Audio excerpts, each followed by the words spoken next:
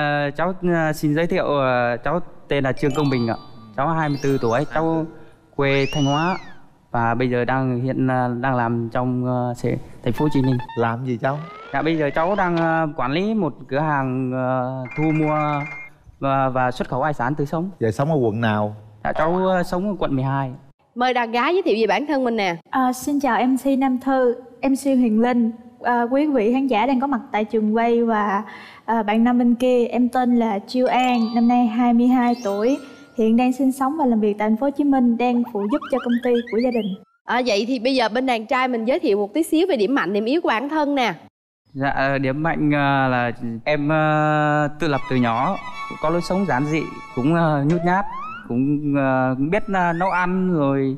Dạ điểm yếu thì có hơi có chút bộn bề.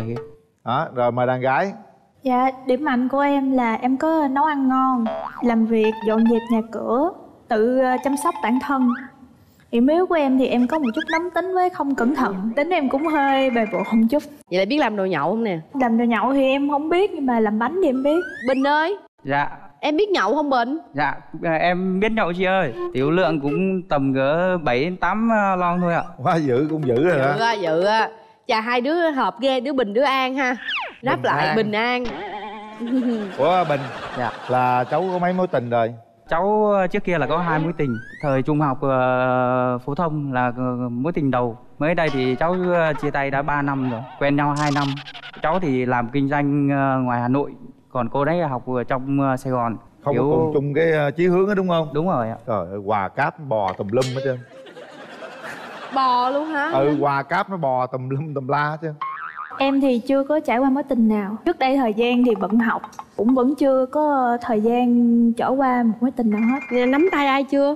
Dạ, nắm tay thì cũng có nắm tay nhưng mà Hôn ai chưa? Thì chưa.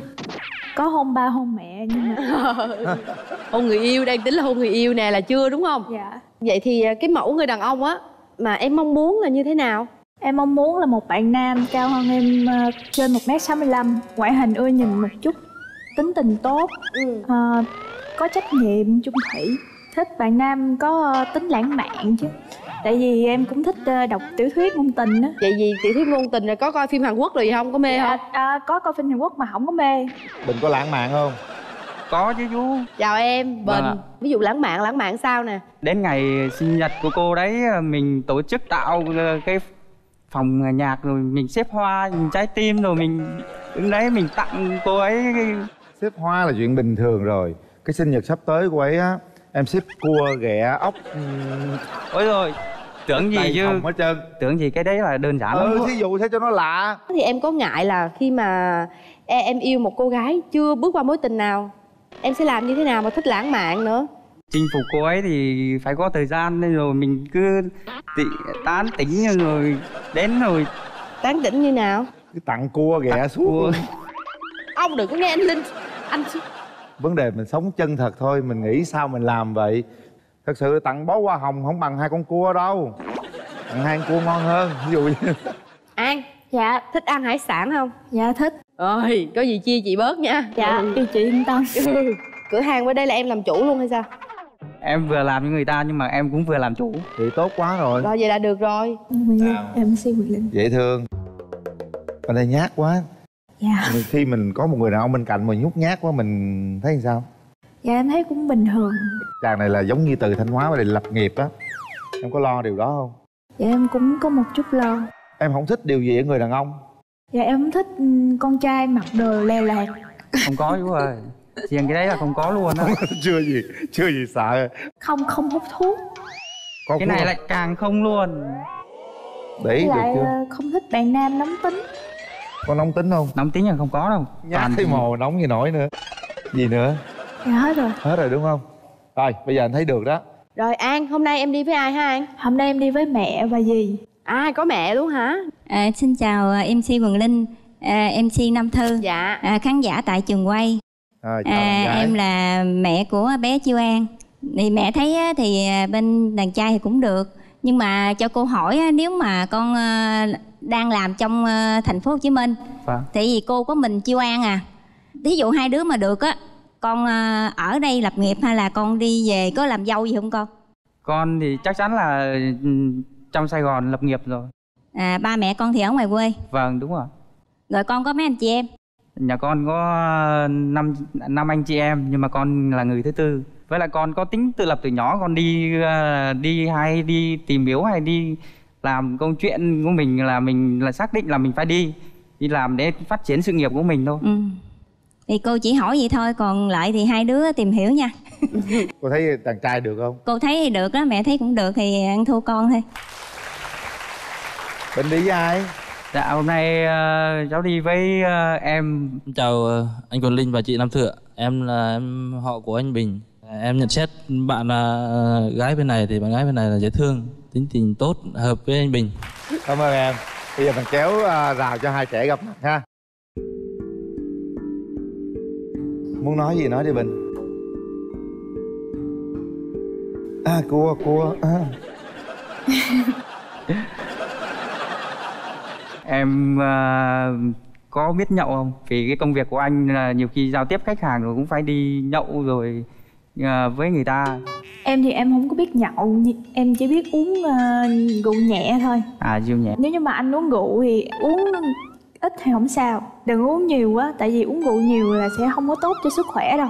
Cái đấy anh biết công việc của anh đó, đi giao lưu hay là khách hàng nói chung là mình chỉ là nhậu vui trong công trên bàn thôi còn công việc không có ai thì tiết lộ cho ai được. Tại vì ba em cũng uh, nhậu nhưng mà uh, em cũng không thích ba nhậu quá nhiều.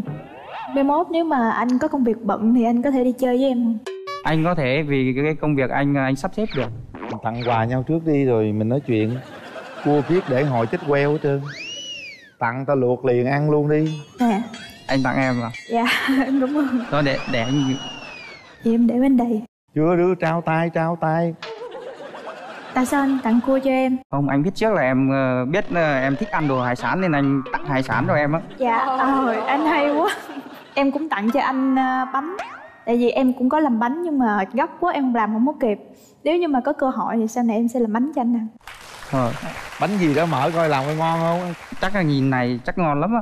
Đâu đưa anh coi coi ăn được không? Mời ờ, em Mời. MC Huyền Linh ăn trời ngon quá ta.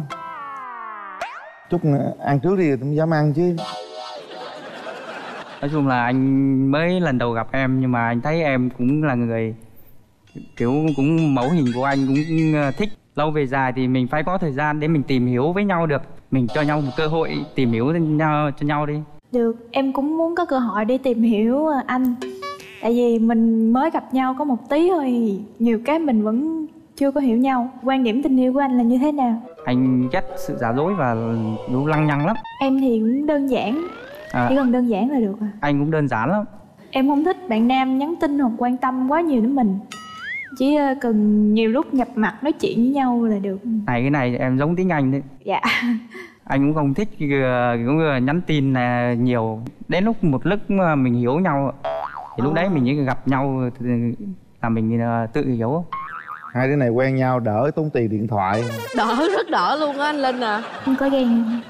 Chắc cũng ờ, ghen một xíu đó. Nhưng mà à, anh ghen xíu là hết à. Tiếng anh không giận nhiều anh không giận dai được. Thôi bây giờ hát tặng nhau một bài đi nào. Tầm ta à, anh sẽ hát bài. Đôi chân đi tìm một nửa yêu thương khi trái tim thổn thức. Sáng em hôm nào chợt lòng đi ngang mắt tôi xinh cười. Ta tìm em trên con phố ấy. Ta đợi em góc ngã tư đường qua.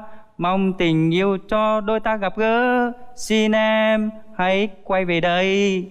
Em xin hết. rồi cảm ơn em. Rồi hết thời gian. Có rung động thì bấm. Bởi vì chúng ta đang đối diện với ba mẹ bạn bè người thân và hàng triệu khán giả. Và rất mong là các bạn sẽ nắm tay nhau và ra về ha. Ba. Hai. Một. Hết thời gian. Wow. chúc mừng em. Hai bạn nắm tay nhau đi. Đây là những chiếc vé xem phim của cùng rạp Cinebox 212 lý chiến thắng. Giữ để xem phim nha. Xin phép uh, mẹ vợ tương lai. Dạ cho con xin phép ờ, hôn em một cái hả?